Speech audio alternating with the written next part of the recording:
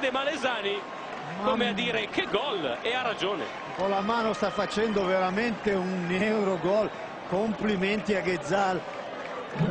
Che tocco morbido, grande grande gol, ha lasciato bocca aperta. Tutti si aspettava, ci aspettavamo il pisce da un rimpallo, Devezze nella copre. Ah, grande gol, veramente superlativo gol di Ghezzal. vera- E qui Devezze ha mancato l'appoggio, Ghezzal con freddezza ha visto Gillet leggermente fuori dai pali e l'ha sorpreso con un grandissimo gol. Comunque è un gol figlio di un ottimo secondo tempo del Siena e credo che sia ampiamente meritato dalla